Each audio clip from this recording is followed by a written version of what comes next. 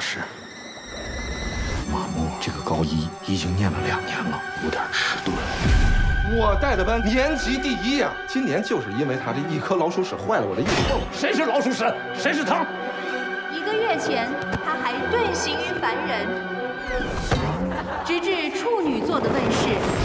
一部作品振聋发聩，一己之力复兴马默，马默，默默，还记得我。们吗？还有我，还有还有。